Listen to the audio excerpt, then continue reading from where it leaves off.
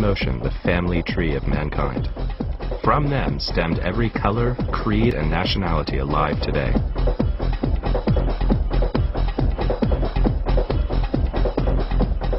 We know the fathers of mankind started their journey from here, but why did they leave? I'm hoping the few survivors they left behind, the San Bushmen, will help me solve this fundamental question.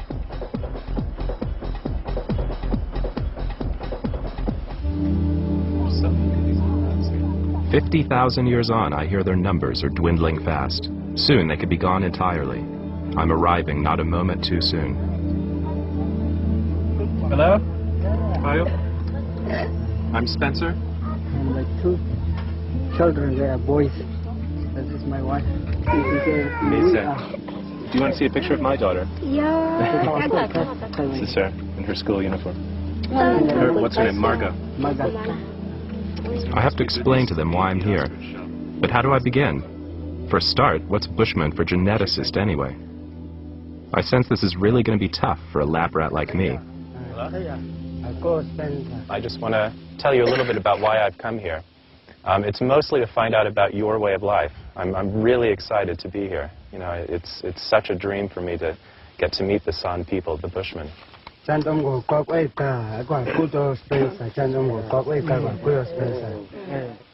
In a way, you carry a secret in your blood. And you can think about it like a family tree. I explained the tree was just like the family that we all belong to. My family line is one of the small fractured branches at the very top, while theirs is the oldest on Earth, the biggest branch at the base of the trunk. I get the feeling I'm not explaining this at all well, but they're way too polite to say so. This is really quite embarrassing. So it's a great privilege for me to come and meet my distant relatives and the people who give us a glimpse of all of our ancestors. So in one sense, we're all Khoisan. We're all San people.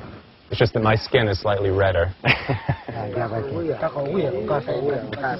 We would like to thank you for the information that you brought for us.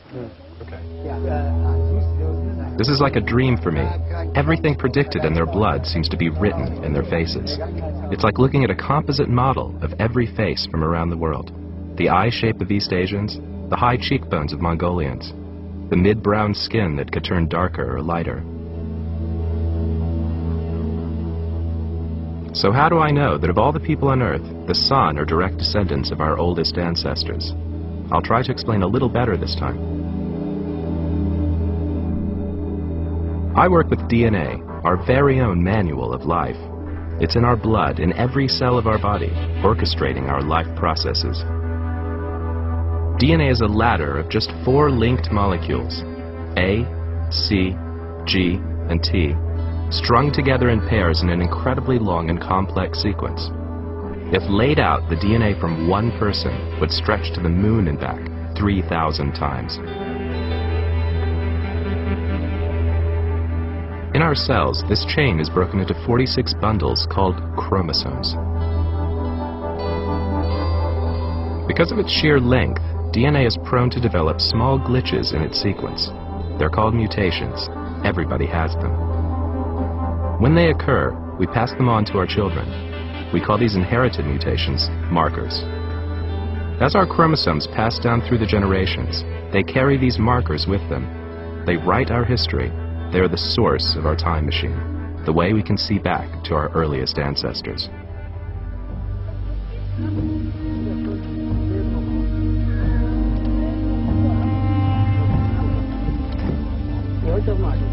Markers I follow are found only in men, on their Y chromosome, the chromosome that makes men men. But of course men don't travel alone, and the journey of man is the journey of everyone. I was walking through the village and I saw that they had massive piles of these sitting around everywhere. call them monkey oranges. And they taste pretty good. They're a little bit like papayas. But thought it would be a good idea to use them to explain exactly what we mean when we say we're following genetic markers. This is a man at some point in the past. The thing that makes him a man is his Y chromosome, a piece of DNA that's unique to men. When men have sons, they pass on their Y chromosome to those sons. Again, it's what makes them sons. So if we imagine that this man had two sons, they would have essentially identical DNA on the Y chromosome to their father. So they would get his Y chromosome in effect. And if we imagine that they also have sons, those sons, the grandsons of this very first man, would also have essentially the same DNA. But occasionally, when we pass on these pieces of DNA, we get a change in a single letter in the sequence. We can call those mutations or markers, and that's what allows geneticists to trace descent. And I've represented this marker with a little strip of tape, a little black bar. And just like before, all of the sons of this particular man will have essentially the same Y chromosome, so they will inherit this marker. And in that way, the marker acts effectively as a badge of descent, a marker of descent from this particular man, and that's what we follow. Now, as we move further down the tree, most of the sons will inherit just that single bar, but occasionally, as we saw before, we will get a second change in the Y chromosome. A second marker appears, showing descent from a particular man, in this case this person, who has first that marker, which came from that person back there, but an additional unique change on his Y chromosome, which he then passes on to all of his descendants. So in the people that we're talking about living in the present day, in this part of the tree, they've got two markers. They clearly trace their descent from this man, but the first marker, remember, arose all the way back there, all those generations ago.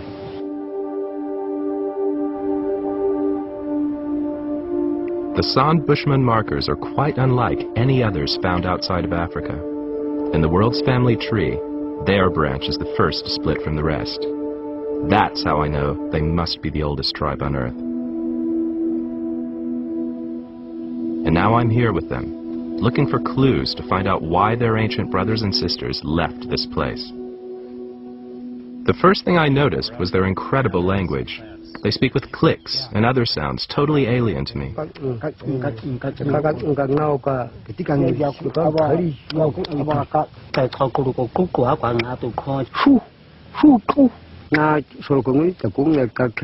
And the word for zero? Quara. Kora.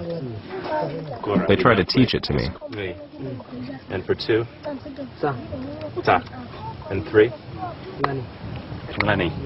And four? Hu. Go. Go. Go. Go. I can't get that for Is this strange language a window on the past?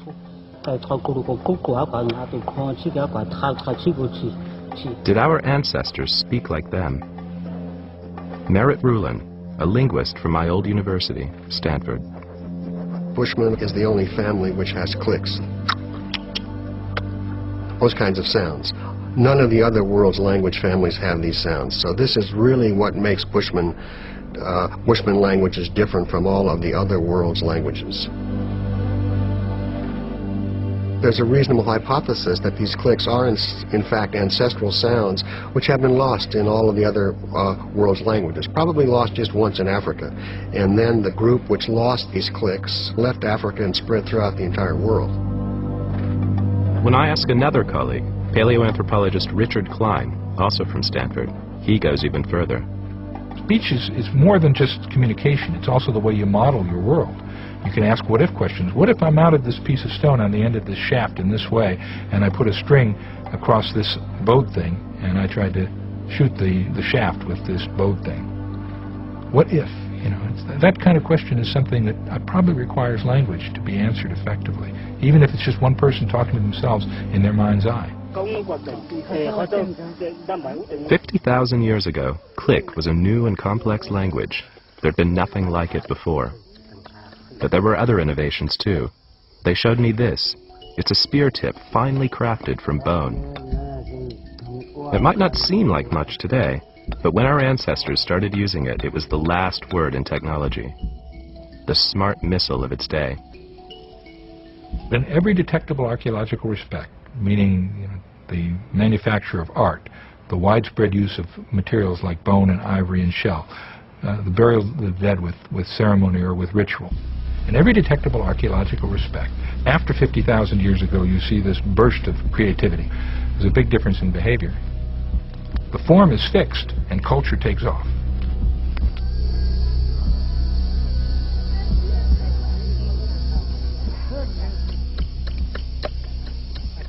دعني المأسى.